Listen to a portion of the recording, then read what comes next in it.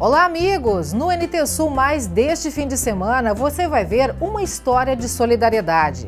Como a família de uma professora reconstruiu a vida após o incêndio que destruiu a casa deles no início deste ano.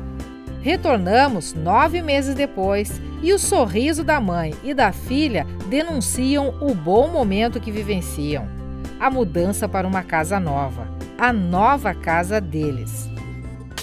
Viagens de fim de ano, campanha alerta para abandono de animais nesta época.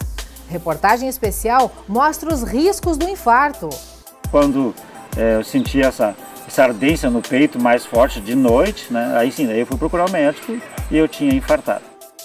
É sábado às 9 da noite e domingo 11 da manhã aqui na TV Novo Tempo. Eu espero você.